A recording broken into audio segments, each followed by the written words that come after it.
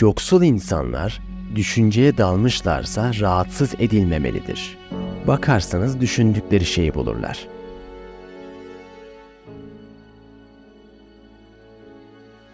Bir kişi onunla yaptığınız son konuşma sırasında olduğu kişi değildir. Tüm ilişkiniz boyunca kim olduklarıdır.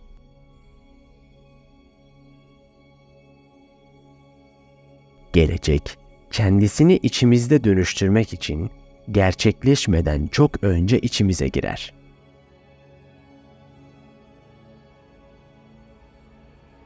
Bu, gerçekten sevenlerin başına her zaman gelen mucizedir. Ne kadar çok verirlerse o kadar çok sahip olurlar.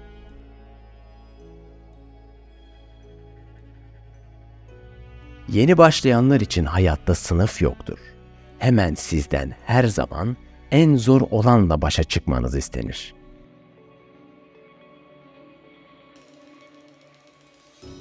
Yaşlı bir adamın küçüklüğünden anlatması gereken o kadar çok şey var ki. Çünkü kişi büyüdüğü zaman onları doğal olarak bilir.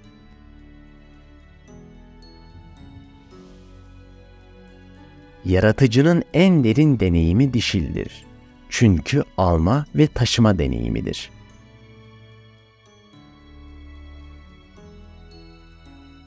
Herhangi bir şeye başlamak muazzam bir şiddet eylemidir. Başlayamıyorum. Sadece başlangıcın ne olması gerektiğini atlıyorum.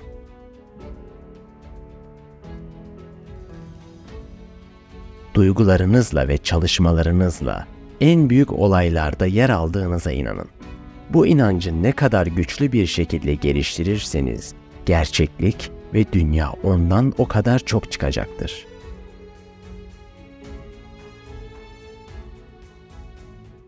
Çok sayıda insan vardır ama çok daha fazla yüz vardır. Çünkü her insanın birkaç yüzü vardır.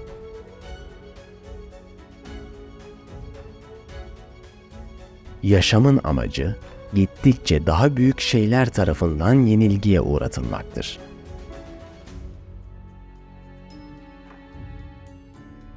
Günlük hayatınız kötü görünüyorsa onu suçlamayın. Onun zenginliklerini dile getirecek kadar şair olmadığınız için kendinizi suçlayın. Yaradan için yoksulluk yoktur.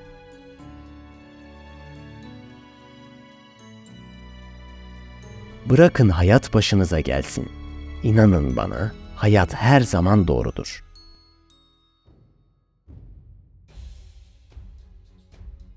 Sorularınızı şimdi yaşayın ve belki de farkında olmadan bile cevaplarınıza uzak bir gün boyunca yaşayacaksınız.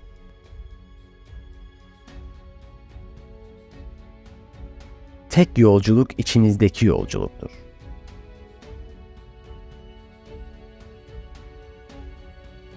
Gizli şeyleri bilenlerle ya da yalnız olanlarla birlikte olmak istiyorum.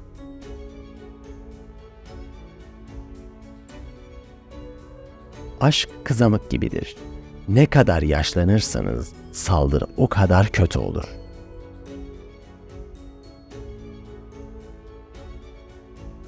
Zihnimin tüm yükselişleri kanımla başlar.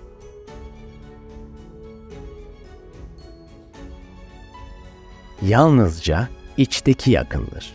Başka her şey uzak.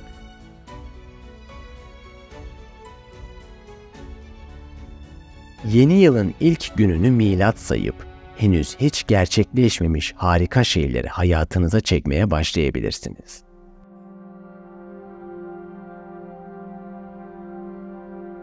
Bir insanın diğerini sevmesi bu belki de tüm görevlerimizin en zorudur.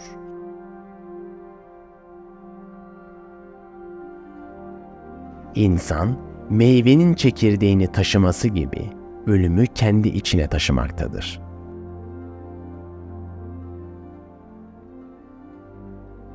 Aşk, iki yalnızlığın birbirine dokunması, birbirini koruması ve selamlamasıdır.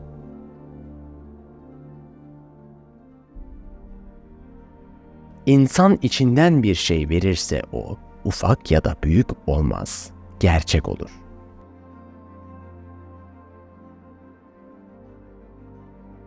Yalnız olmak iyidir. Çünkü yalnızlık zordur. Bir şeyin zor olması, onu yapmamız için daha fazla bir neden olmalıdır.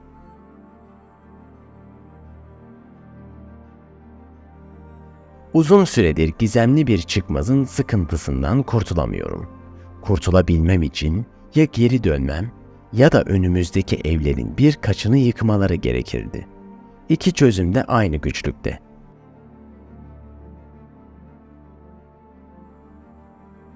Her şey en pervasızca çiçek açıyor. Renkler yerine sesler olsaydı, gecenin kalbine inanılmaz bir çığlık atılırdı.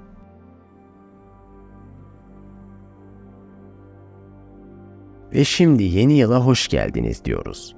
Hiç olmamış şeylerle dolu.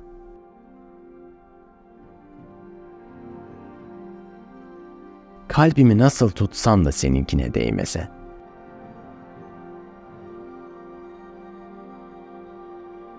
Belki de korkunç olan her şey bizden yardım isteyen çaresiz bir şeyin en derinindedir.''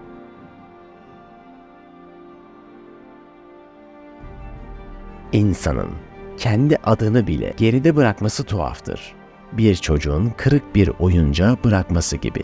Onu unutmak.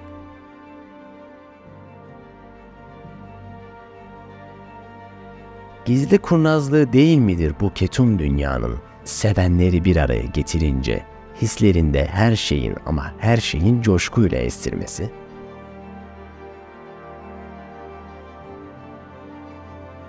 Eğer tüm gücümle bağırsaydım, melek saflarından beni kim duyacaktı?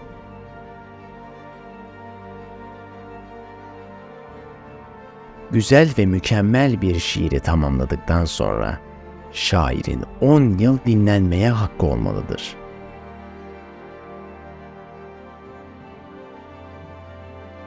Aşk, içimizdeki yangını söndürmeksizin taşımaya çalışmaktır.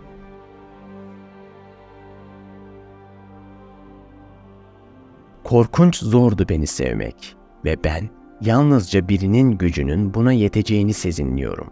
Ama o biri henüz istemiyor bunu.